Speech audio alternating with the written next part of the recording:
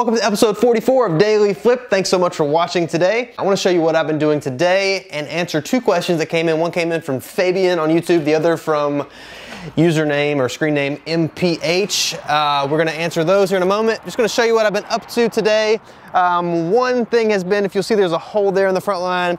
Yesterday I mentioned I had a Mercury Montego that was selling today. It did sell. I also mentioned yesterday that I thought I was gonna be selling the Envoy. As you can see, it's still there, so I did not sell that. So instead of it being a $4,000 profit day, which I thought it might be, it's only a $2,000 profit day, which isn't horrible. So if you wanna see more info on the Montego, I actually made a video on YouTube. I was bidding at the auction live. I'm gonna try to put a link below to that video so you can see what I actually paid for it because I see a lot of people on Facebook and YouTube making videos about car flipping and they tell you how much they're making on their cars and you kind of wonder, are they telling the truth? This guy doesn't sound like he knows what he's talking about. This is one you can actually watch me buy it at the auction. You can see what I paid for it, which is $1,400 plus a buyer's fee. It was roughly $1,500 invested in the car.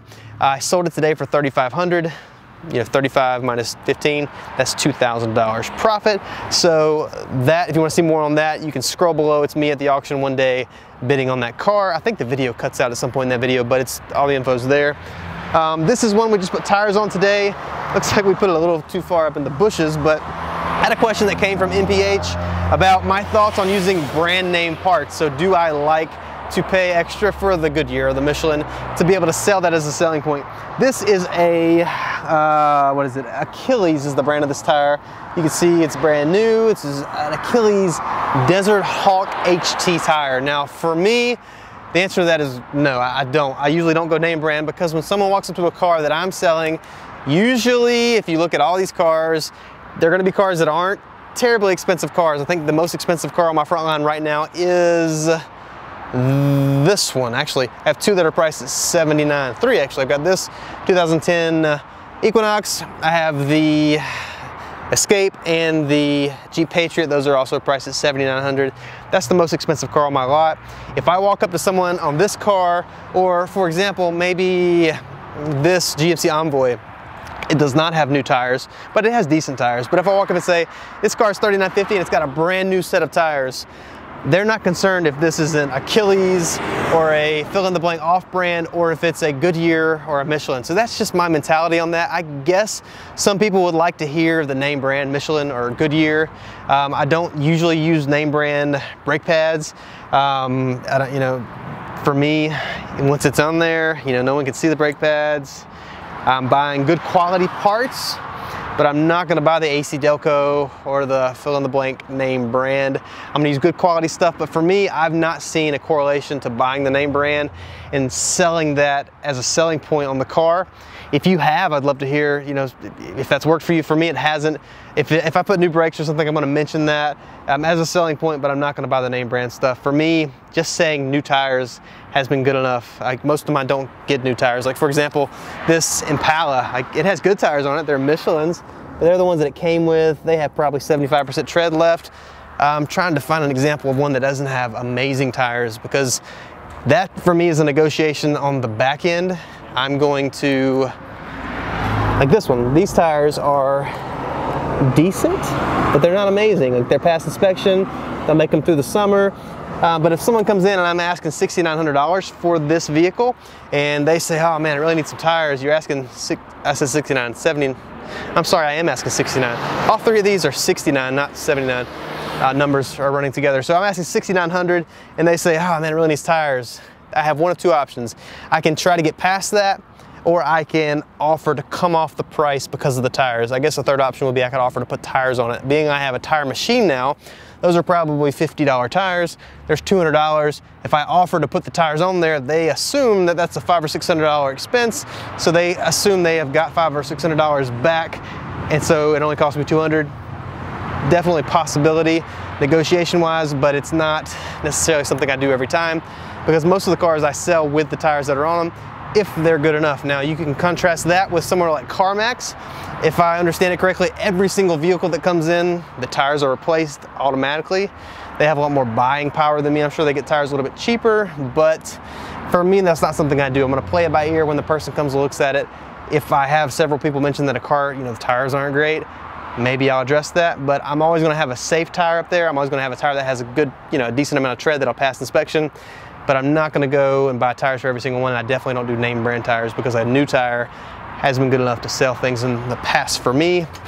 Also had a question from Fabian about financing. How do I arrange financing for people? It isn't something that I do a ton of, and that's mainly because I don't have enough time to sit at my desk and fill out forms like this every single day. This is the uh, form we actually give out when people come in to finance a car or if they're interested in financing a car, um, they'd come in, they'd put their basic info, name, address, social, date of birth, employment information.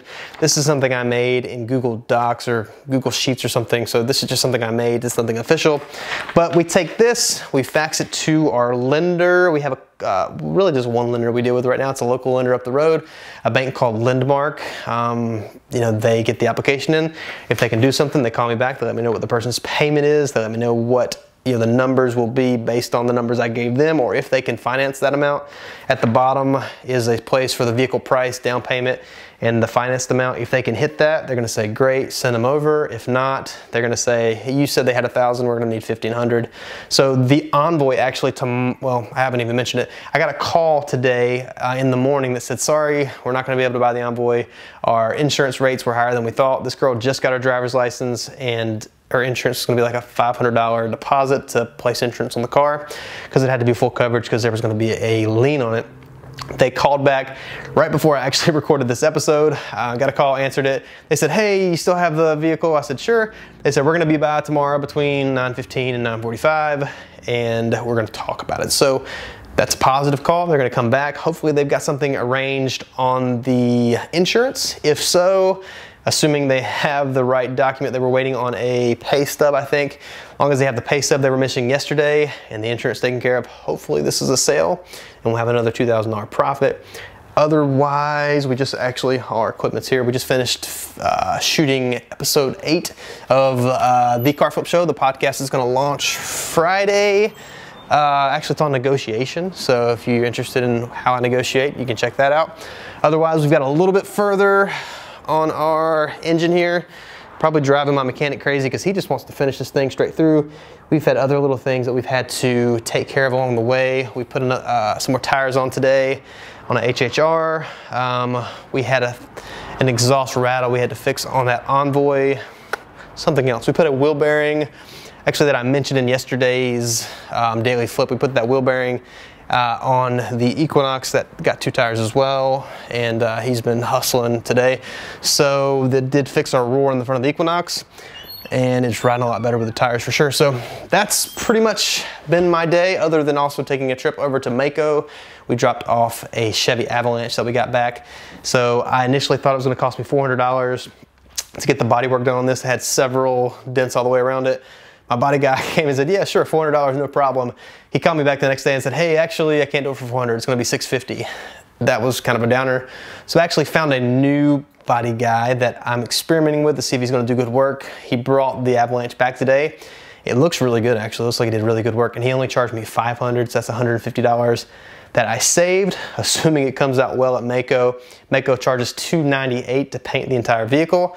So we're gonna have 500 plus the 298, that'll be 798 for a full paint job. This is on an Avalanche, a 2003. It only has 80,000 miles, so hopefully it'll be a good seller. Um, with a low mileage, shouldn't take long to get rid of, especially being in its pickup truck. But that's all for today's episode. I'll see you tomorrow in episode number 45. And if you have any questions that I can answer tomorrow, post them below and I'll get to them.